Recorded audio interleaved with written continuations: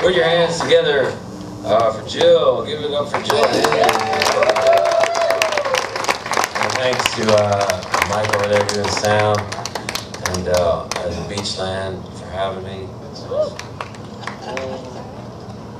And thanks you guys for coming out on a rainy Monday. Uh, hope everything's all right back home. Those issues sorted out soon, so you can just be at home where you belong and surrounded by love and, abundance. I wish you all abundance. Oh, yes, abundance. a fun word, abundance.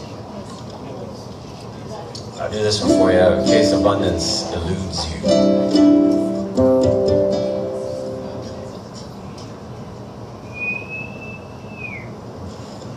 All right, so this song uh, here, I'll, uh,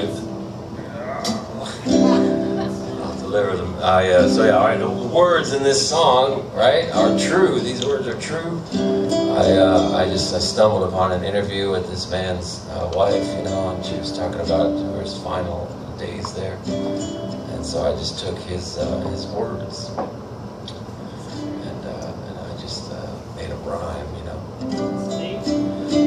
I'm just a messenger. Here's the message. Um, may it bring you comfort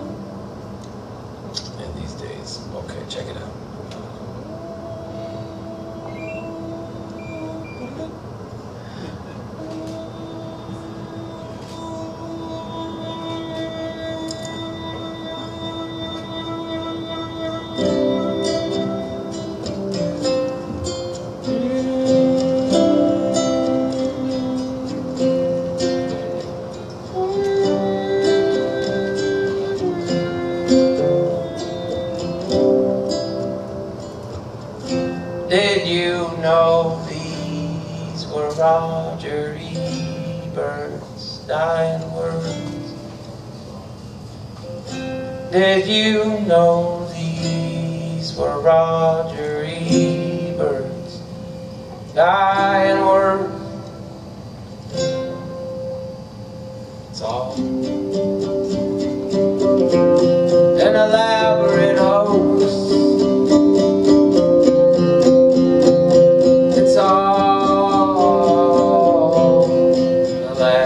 And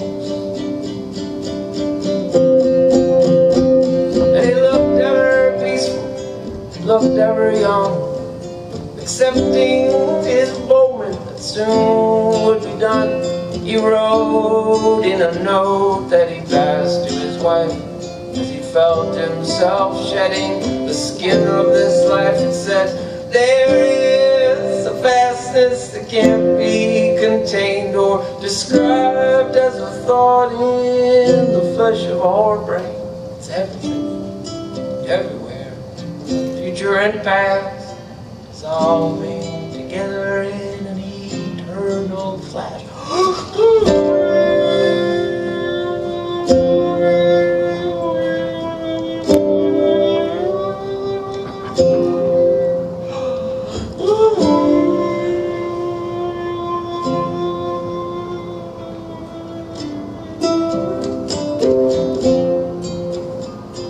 no words to say that he loved her so much.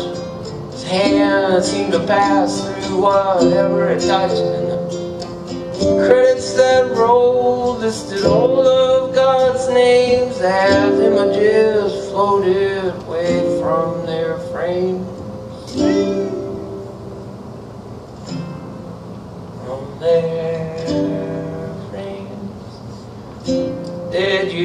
all these were Roger Ebert's dying words.